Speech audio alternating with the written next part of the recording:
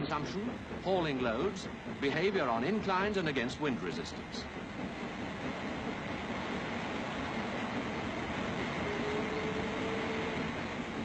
Work in the driver's cab is carried on exactly as though the engine were on a real journey. The fireman stoking his boiler to keep steam at the necessary pressure.